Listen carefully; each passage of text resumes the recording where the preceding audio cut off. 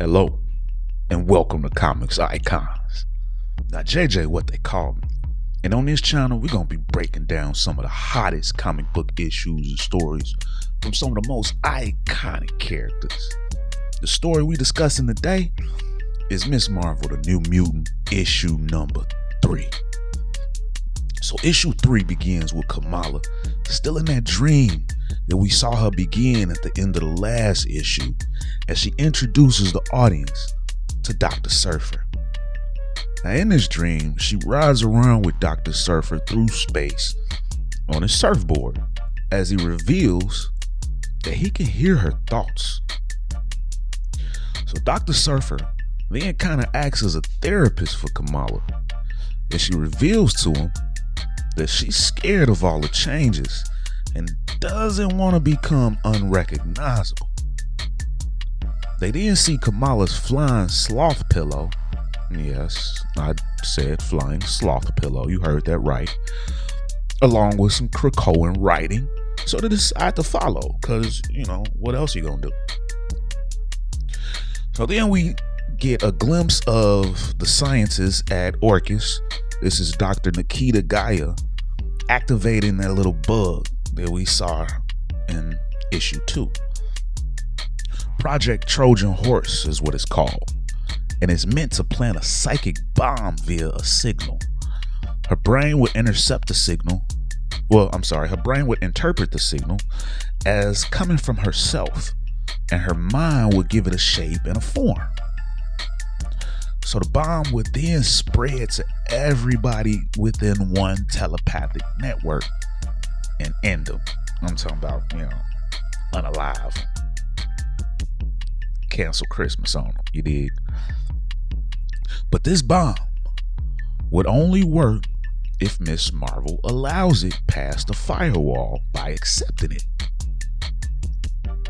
So Dr. Gaia then gives Karima a little taste of what's going to happen to the mutants once it's activated, showing us that she had actually implanted this same device into Karima and activates it, breaking her down to the ground.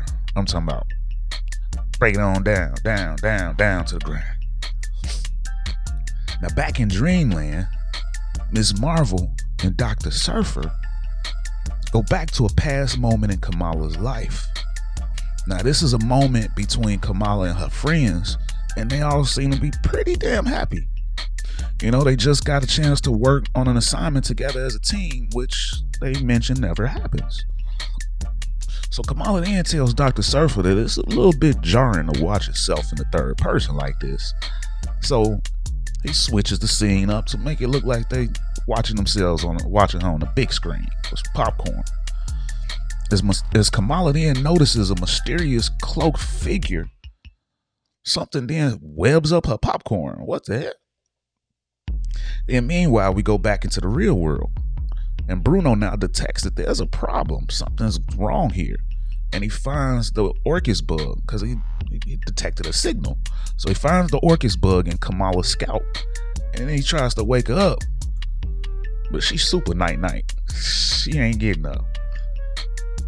So back in this dream world, we see the source of the web and it's actually a giant spider with a Spider-Man mask. Uh, the hell, I don't have these type of dreams. I don't know about y'all, but he's attacking them. As Doctor Surfer then blasts the giant arachnid.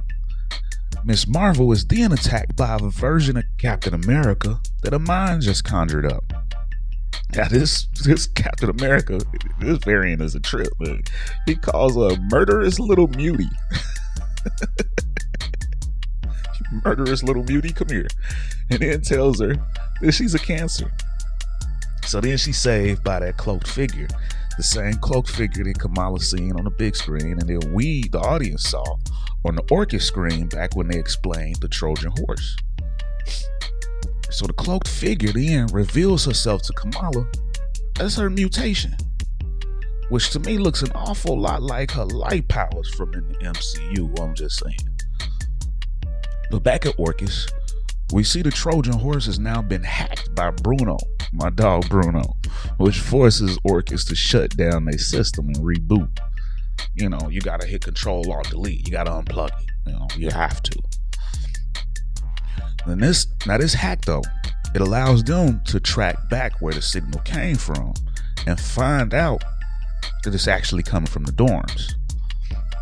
Meanwhile, that real battle is happening inside Kamala's mind. As a mutation begins to try to convince her to accept it, we see that Kamala is unsure whether or not to accept it because she feels like this this this is way too easy. And then when the mutation tells her that she become a god, Kamala refuses. Oh hell no. That never works out. So we then see as Orchis realizes that she's resisting the Trojan horse, they decide to pivot and go find the source of the hack back at the dorms and prioritize the people that are asleep. We then see a back and forth between Bruno, who's still trying to wake Kamala, and in her dream, where she's still busy trying to fight off this Trojan horse. When a drone shows up in the dorm room, my man Bruno thinks fast and he pulls a weekend at Bernie's and disguises a sleeping Kamala to look like she's awake. And it actually tricks the facial recognition software. And, be honest, I think with this software, they need to go and get their money back.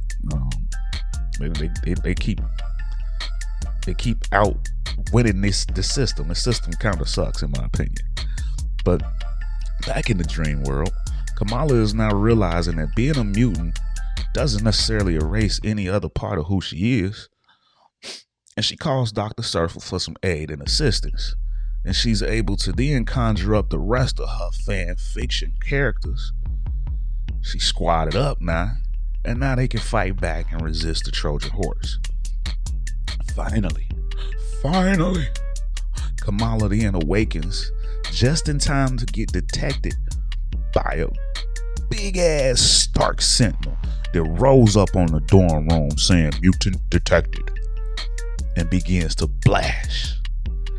And issue three comes to an end on a hell of a cliffhanger. You see how they do us? Hey.